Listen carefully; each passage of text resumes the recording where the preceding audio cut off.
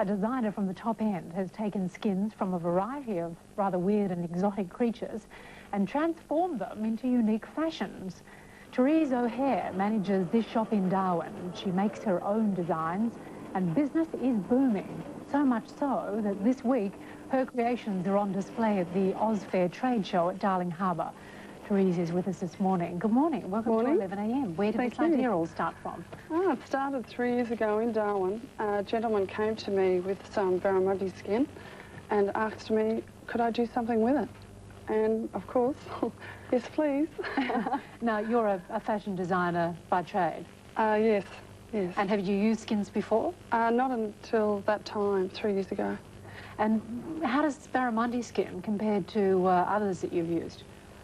I find it just as uh, durable. It's actually better to work with. It's a product you can work with in your hands.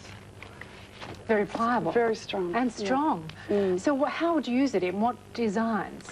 Well, I'll just show you something quickly here. This is the first garment that I ever made from the barramundi skin, and that is a full garment from barramundi. Quite extraordinary. Do people know what they're buying when they come into your store? Not necessarily. Uh, they often touch it and ask you, what's this? Now, As you can see. yes. Now, these barramundi aren't uh, fished just for the skins. No. The uh, barramundi fish is a consumable uh, product, as you all know. Everyone loves fish on the dinner plate. And uh, many years, for many years, they've been throwing the skins overboard for the sharks. Right. So now it's we are reusing a product that otherwise would have gone to waste. That's right. And you're doing that with other skins as well. Don't tell me something horrendous like chicken's feet, I believe. Yes, we have a little bit of chicken feet here to show you. I don't know if you can see that very well. That's the chicken feet. At the moment, we're just looking at some of your fashions. Here we go here. So you've just used them uh, basically as uh, a design applique as opposed to any great benefit from the skin.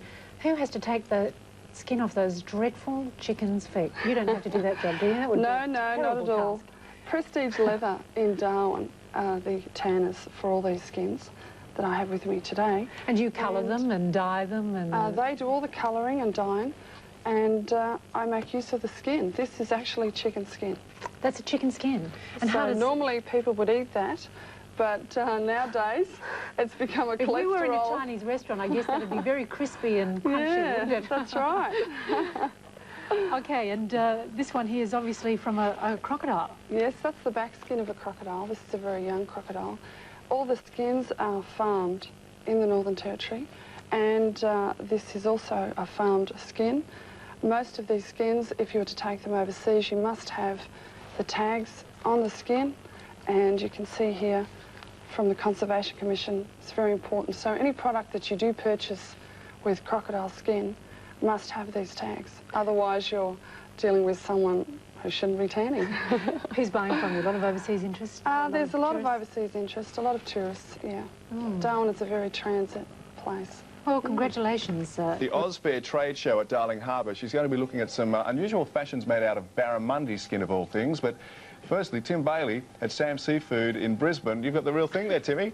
The real article, Hammer. Now, I don't know about fashion made out of barramundi. There's a barra there. I wouldn't like to have a pair of Speedos made out of that. Might make a good cardi, though. What do you reckon, Joy? Oh, actually, I think a pair of speedos would be okay because apparently they're waterproof, being a fish, of course. and I'm here. Fair enough. I'm here today at the um, Ozfair trade show with my friend Therese O'Hare. And uh, tell us about the barramundi skin. It's certainly an unusual type of skin. Is it leather skin?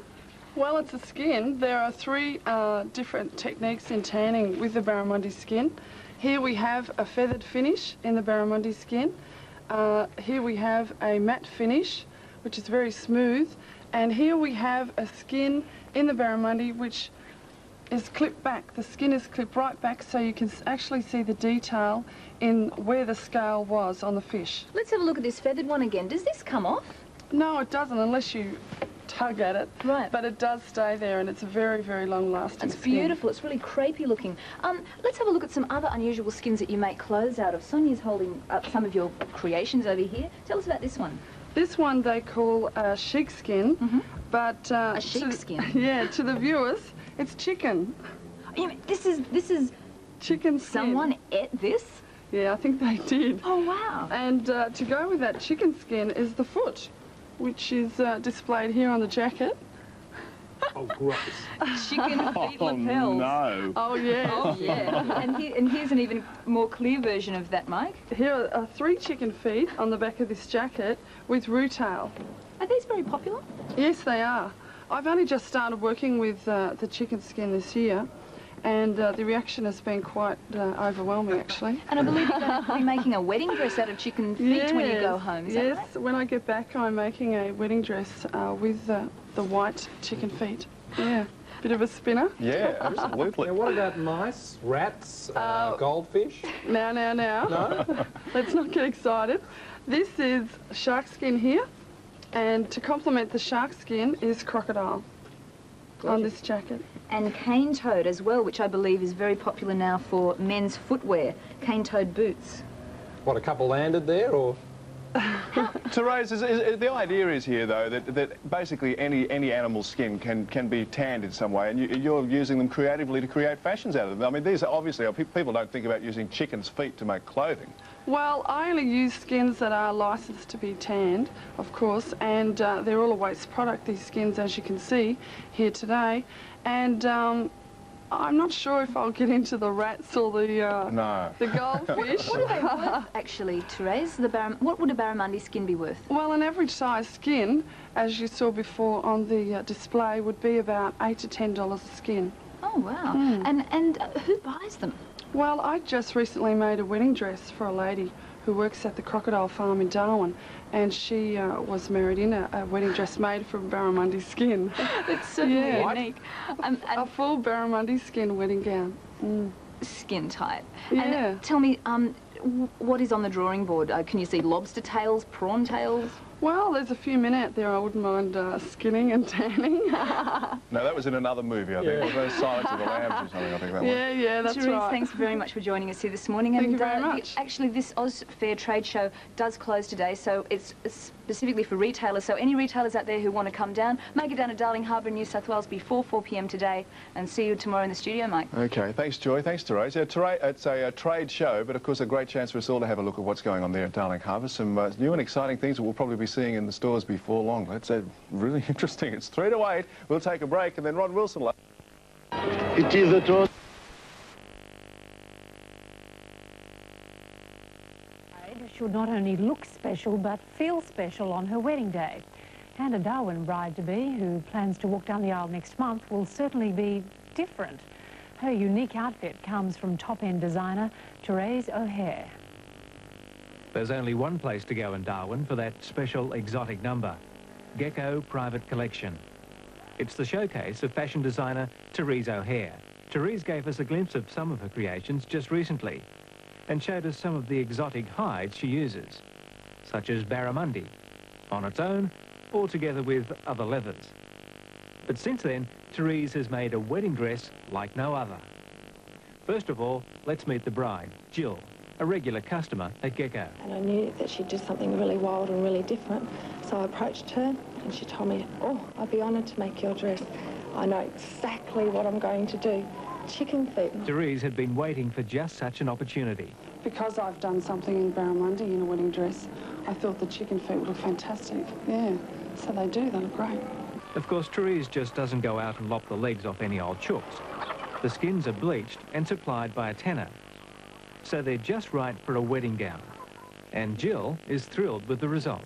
It's exquisite. It's better than I ever thought, ever imagined. I knew it'd be something great, but this is unbelievable. And this is it. Poultry matrimonious. 48 chicken feet have been stitched onto the gown. It took a solid five days to make and cost somewhere between $1,500 and $2,000, which would buy a lot of takeaway chook. This latest work has egged Therese on to even more exotic endeavours. In September, she'll be showing a collection of her fashions in the United States, where she hopes to win over some big-name clients. The next dress that I want to do, I want to do for someone like Madonna or Cher, so I'm working on that at the moment. But I want that in perhaps cane toad or mixed in cane toad and snake.